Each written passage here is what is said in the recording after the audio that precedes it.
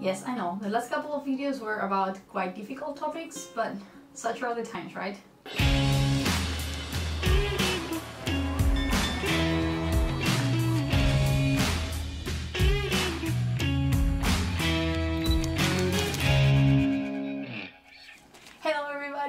Awesome curious people. Welcome back to my channel. This is once again Martina from Argentina. As I said on my last video, I wanted to talk a little bit about mental health during these difficult times. If you haven't seen all the videos about all my story being stuck at sea for 90 days, I'm gonna leave the links up there for you guys to check out.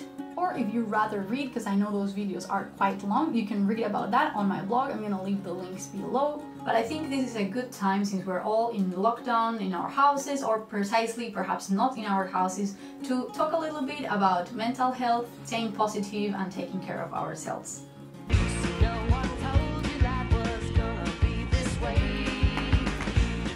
Today I want to share with you all the tools and strategies that helped me keep myself motivated and positive even when I had basically lost my job, at least temporarily, and when I was stuck somewhere against my will.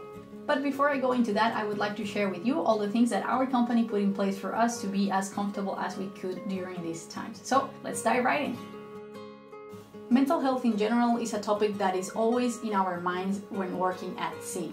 It's not easy to be away from home and your usual care circle, so we do normally have a lot of structures put in place to look after the mental health of crew. But today I want to talk specifically about the things that were put in place during the quarantine. So you probably know that we were isolated in individual cabins for 15 days. And in the beginning this was one of the first difficult times. Not only we were all alone in a really small space and with nothing much to do, but we also wanted a lot of information to get to us, because a lot of things were happening in the world. So the TV and telephones became key to sharing all this information and keeping us in contact between each other.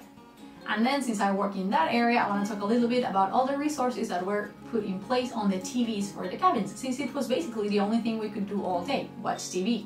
The amount of information that was arriving from every direction was overwhelming, and sometimes it would contradict and it would change every day. So it was important for us to keep clear channels of communication and official ones as well, because we had the news, we had the hearsay, and then we had all the chain of communication coming from the Miami offices of Royal Caribbean to each individual ship. In our case, we set up a daily show in which the management team would inform us of the daily updates of the repatriation process, basically by nationality. Something really smart they did, they set up an app so we could send questions about our countries or specific things that had us a little bit confused about compensation and going back to work and stuff like that, which were big interrogants at that time. But information is not everything. I think we've all been through that social interaction withdrawal during these times of quarantine. I know you enjoy being in your house in your pajamas and not having to go out, but let's face it, we are social beings. And that was a big need that needed to be filled during those times. Remember, some ships had even more than 15 days of quarantine. Some ships had months of it because they had cases on board and they had to be super careful. On this show, not only information was shared, but as well birthday wishes and words of support. We even had a whole separate program in which the CEOs and the VPs of the company would record messages specifically for the crew, as well reassuring us that the company was doing well, all in all, and sharing with us words of support. I think that really feels good when the big players of your company are addressing directly to you. They would even answer questions sent in by the crew. Interviews were being held with different people giving their input about the situation, and even the people planning our repatriation were telling us basically face to face how things were going. So I think that set a good deal of transparency within all the process and would clarify some doubts that people might have.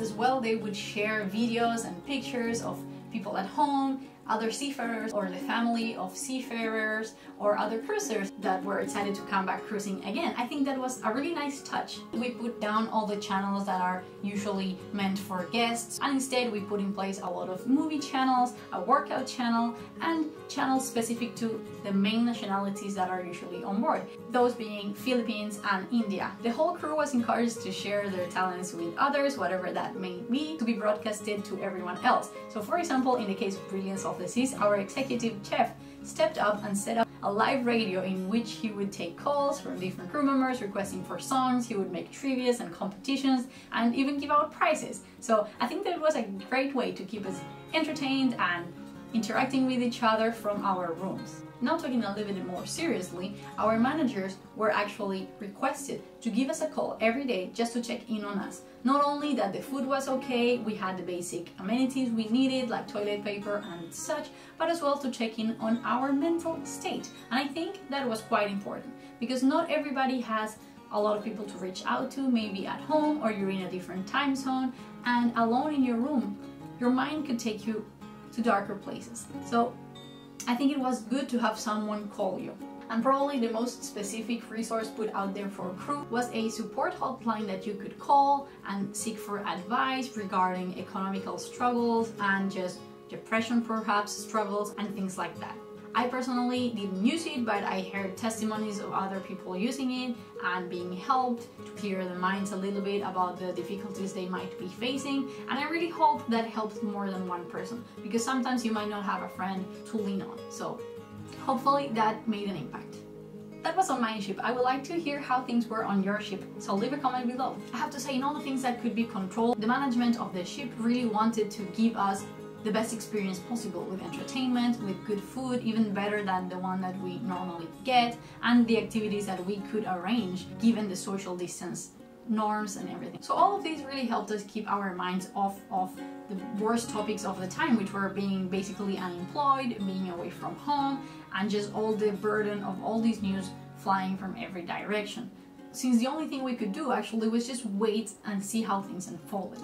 But unfortunately, the entertainment and the distraction is not enough for someone dealing with a very difficult situation economically, maybe the loss of somebody at home due to the disease or any other reason. Our work arrangement is always complicated. Working per contract always puts you at risk of, like what happened now, being laid off unexpectedly with no major compensation like for example, in Argentina, a decree was put in place to make it illegal for companies to fire you due to the pandemic. A kind of security that we don't really have at sea. And unfortunately, these superficial fixes are not gonna fix someone going through a real deep struggle. Royal Caribbean did step up with compensation that they gave out to everybody on Route 2, as I explained before, basically the people that did not want to remain but had to because flights were just not happening. And they even extended that later to the people that chose to stay, whatever the reason that was. One area in which I wish I had seen more improvements was the fact that the minimum manning crew, they were actually overburdened with more hours of work than we normally have. And we're talking about positions that usually have 10 weeks contract because of how demanding their jobs are. And they usually take another 10 weeks off during this time. Now they will have longer vacations, but remember, seafarers don't get paid on vacation. So it's a little bit of a double-edged sword. And I wish they were more compensated, if not in a monetary way, at least emotionally and with support, because I've seen a lot of managers really pushing down on the minimum crew to work harder and harder, when I would suppose at these times they should be thankful for these people staying on board because actually they had no chance to choose and go home even when their contracts ended. My point with all this is that mental health is a really complicated matter that needs a really complicated structure of support. And I wish that by raising awareness of the difficulties that seamen and women face, we can push our companies and governments and laws to secure better conditions for seafarers in general, about job security and just the lifestyle we have in general on board. There's people that choose to work far away from their home to make a reasonable income for their family and they live under a lot of pressure. So I think we should just understand all the stories that can happen at sea. I want to dedicate these videos to those that lost their lives at sea during the quarantine, either due to this horrible virus or those who lost their lives to suicide. You might have heard in the news we had up to 10 suicides in one month, in just a couple of weeks. So that really hit the crew. Of course, during difficult times, people try to find someone to blame, basically. And this time the blame was basically split between the CDC, the cruise ship companies, and the governments. Fingers were being pointed at who was stopping the repatriation process, the CDC with their rules, cruise ships not wanting to spend the money in the repatriation, and governments closing their borders to the travel of seafarers. This is how you might have seen in the news a lot of crew members parked in protests on the majesty of the seas. They put up banners calling out the company about the suicides and requesting for the captain to step out and give them answers on Explorer of the Seas. Another group of crew members whose flights were cancelled a million times started a hunger strike, and this is a moment where I think maybe actually asking people to wait for longer instead of giving them 10 different dates just to cancel them 10 different times, I think that can be sometimes even more straining. I don't know, it's just an opinion from the top of my head. And then you had all the international news picking up on stories of different crew members from different countries holding up signs and telling about their stories, which in some cases they were really struggling with difficult situations. In my case, I did not agree with the sensationalist headlines that went out there talking about how the Argentinian government was leaving us behind and forgetting about us, when actually the chartered repatriation flights to Argentina were prioritized for those elderly and people that had run out of money being stuck abroad for months. I don't think we were the ones that had it worst during this pandemic. We had some compensation and we had food and a roof over our heads. It's not my intention to make a video with preppy emotional support and quotes and stuff like that. I'm actually gonna give you tools that work, sometimes psychologically and even scientifically based on why these things can help you with stress. So I'm gonna divide this into the main topics I think we should work on when we're going through difficult times and finally the way I put everything together and really made it work. So for me, the main points were coping with the things that were happening, expressing the things that I was feeling, appreciating that what I could appreciate at the time, connecting with others around me, exercising, a little bit of self-care, and finally, motivation. And I'm gonna tell you everything about how I got the motivation to work on all these at the end. To really be able to work in your feelings, you have to first identify them. We all have different ways in which we could process our feelings. For me, it's talking to others. When I say the things I feel out loud, I can really analyze them did that feel honest to me? That was a little bit dramatic maybe, so I can really analyze what I think and to see if I agree or not with myself basically, let's say. Other people might write or might produce art, even meditating, having a conversation with yourself, and another infinite ways of just venting your feelings. But basically, first you have to face them in order to be able to work on them. It is well known that naming things is a way of controlling things and harnessing them. So don't stop yourself at I'm sad or I'm angry really go deep into the whys of what you're feeling. Is something frustrating you? What specific losses of this year really hurt you? And that way you can identify what really is important to you and which feelings are really worth having.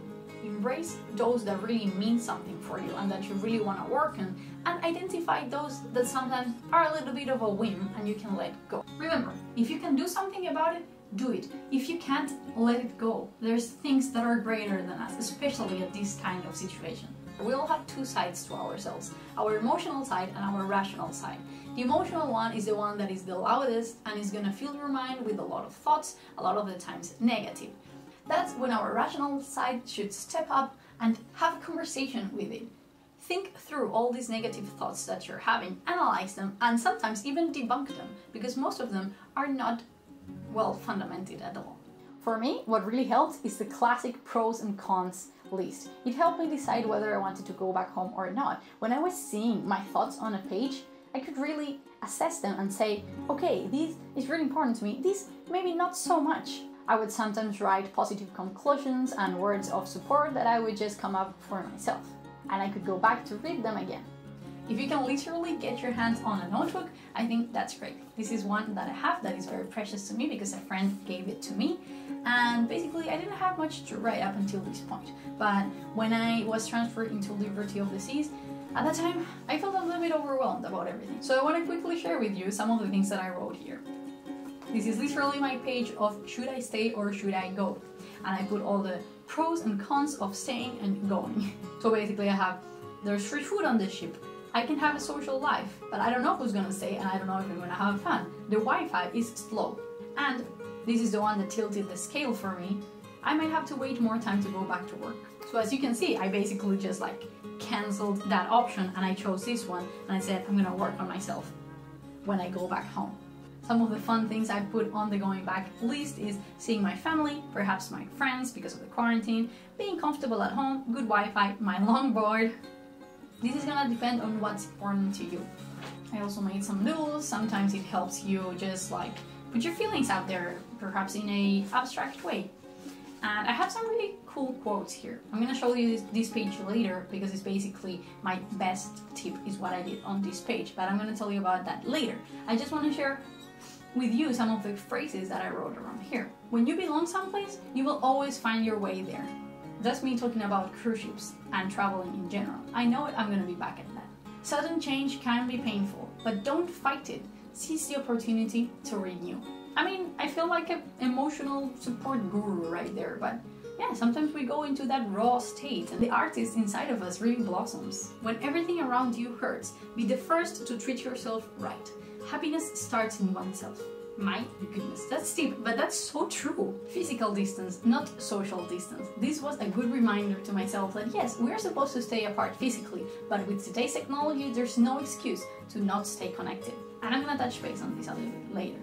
So anyways, that's a little bit of that. I'm gonna show you my favorite page a little bit later. Another of the topics I said before is appreciation. I know it's really difficult to focus on the good when everything around you and everything that matters seems to be crumbling, but that's the point. Allow yourself to smile and to appreciate those things that you usually give for granted. Is the sky beautiful? Look at it. It is beautiful. Be happy about it. I was happy that my quarantine was spent right next to Coco Cay. Sure, I couldn't go there, but I had that amazing view. Appreciating a great plate of food can set me up for the day, honestly. Enjoy like no one's watching. Honestly, your happiness comes first. Who cares? And laugh. Laugh like you're silly. There's no price for your happiness. My next point is connect. Connect to those around you. We're all going through the same, and going through the same difficult experience, it's proven to tighten the bond between people. You already have something in common with everyone going through the same thing as you. Or you can also reach to those friends and family members that have known you all your life and know what your priorities are, sometimes even more than you, and they can help you cope with all these feelings. Listen to each other, laugh with each other, spend time with each other, share moments and push each other to improve and to keep a healthy and positive lifestyle. You heard about this one a million times, but exercise. Other than the obvious benefits of being active, exercising literally releases endorphins and dopamine into your bloodstream. That's not only gonna make you feel great, it's gonna make you look your, at yourself better in the mirror and you're gonna be excited to keep doing it over and over again. You're not only working on your body, but you're literally tricking your brain into feeling better. And it's not even a trick, you are feeling better. It's gonna help you with your weight control, and we all know that we need that in quarantine. It's gonna help you with your self esteem, with your digestion, with your sleep. I know we all might be suffering some kind of insomnia due to all the things in our head, so being a little bit tired can help you sleep through the night. A really big one is self care. One of the common signs of depression is that getting out of bed and doing some of the most simple tasks of the day might seem like a burden when you're not feeling motivated. Keep in your mind that you deserve to be pampered and you need it more than ever, so why not? Don't keep pushing yourself even lower when you're already in a difficult situation. Every little thing that is gonna make you feel better is gonna help you get to that positive state of mind. Set up some nice music in the morning to motivate you to get out of bed, to motivate you about the day when you're getting ready. Take a long, nice shower and do all the things that really pamper you. Use all those expensive products that you always save for an occasion. Do your hair, do your makeup, pick up a fun outfit or an outfit that expresses how you're feeling that day. Try out new things. A pandemic is a good excuse for anything. Dye your hair, cook those favorite meals. I mean, stay away from all the anxious snacking. Not too much comfort food, eh? But it might not be the best time to go on a full strict diet and make that comfort purchase that you were thinking about. If it makes you happy, it might be the time. When I pick a cool outfit and I play the right music, I really feel empowered. And let's face it, only a fierce and well put together person can go through all these difficulties. So don't be afraid. Sure, all this advice is great and all, but if you're lacking motivation, that's specifically the problem. So, my friends, this is where my notebook comes in again. Let me show you. If you want to achieve your goals, as small as or big they are, materialize them. Put them on paper. This way, you will have a commitment to start working on your goals. Choose a system that allows you to see progress. if you pay attention to the previous steps, basically we've already identified all the things that are worth it for us and that really make a difference and an impact on what really makes us happy, whether that be in the moment, in the day, in a month, or in our life. But this is not all just positive gibberish. It has a reason, and let me explain. By putting your goals on paper, you have them at hand to look at them and really focus on what you want to work on each day. It can be a nice artsy project to make yourself a list of things that you want to achieve on the long run and daily. Having something to complete every day with your goals is gonna make you look forward to actually completing them. It is scientifically proven that having a reward is gonna make you work towards a goal. So basically, for example, what I do, I set for myself two different diagrams. These are my long-term goals those that I want to work on when I went back home, basically, for me. But it can be any milestone for you. So basically what I did, I just drew them and I feel, okay, when I feel that I've accomplished them, I'm gonna paint them in. And then I'm gonna have a nice drawing, painting, mural of my goals all colored in. It's a good way to visualize them and to remember them. Perhaps someday you have nothing to do and you say, okay, what can I work on instead of watching Netflix all day? Okay, go to your goals page and find something that you can do to work towards any of these goals. That way you can find purpose on your everyday routine. If that sounds a little bit too overwhelming, you can use a daily task list. This way, even the small things that you don't feel motivated to do during your day because you'd rather just lie on your couch all day can be achieved and can be something again to look forward to doing because you can complete it in your list. That way all those small things that sometimes we struggle to do like brushing our teeth every night because we are just already in bed watching Netflix and we can't be bothered to get up. Make it into a goal. Make it into something that you're motivated to because you'll feel awesome when you tick that thing off your thing and when you feel that you've really completed things. And when you don't, you're gonna judge yourself for not doing it. You're gonna make yourself push harder the next day just for the good feeling of putting a tick on it.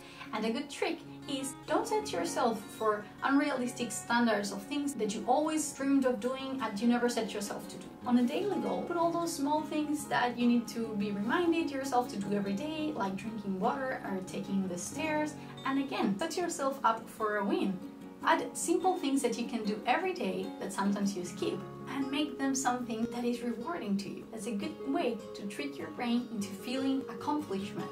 For example, I'm gonna share the ones that I wrote. Eat healthy, exercise, stretch, do yoga, moisturize, floss, brush my teeth and clean my face, drink a lot of water, get some vitamin D, enjoy nature, laugh out loud, have a meaningful conversation, learn something new, work on chores or a project, take the stairs. So sometimes I would even give myself a smiley face or a star for really doing it. Here I drew a cloud because I couldn't get that vitamin D on those days. So yeah, you can have fun with it and it can be an artsy project. Mine is not that beautiful, but you get the idea. So at the end of those two weeks, I wrote an assessment for myself. Two weeks with no rice, which I usually always eat on board only drank water, smiley face. I didn't have any sodas. They were actually free and I had to really concentrate like don't take the free soda. Just had bread once or twice. Burgers without a bun. Proud of myself right there. I no longer struggle getting their stairs all day. So that was super cool actually because I would go up and down the stairs all day and eventually I didn't feel tired anymore. I stayed away from desserts and I put a star over there for me. That is true. I mostly avoided desserts. Sometimes I would take a second course, but at least it's not sugar, right? Right? And I added a special title down there saying I'm excited about my projects. Which is true. I had to really push myself to see all the positive things after all those negative things that this year brought. But I'm really happy to be working on my projects now. Basically, being here for you, with you.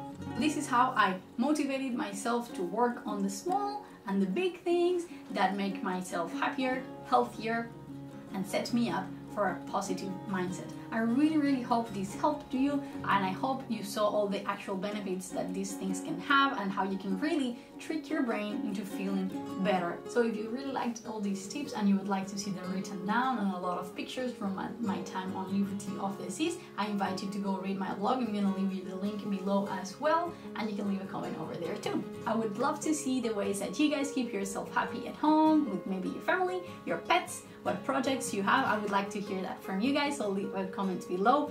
If any of these helped you or inspired you, give a big thumbs up for this video and subscribe for more. I promise a lot of positive things are coming to this channel because here, as you see, we work for actively being positive and taking the best of every day and of our lives. So guys, stay curious and I'll see you next time. Bye bye.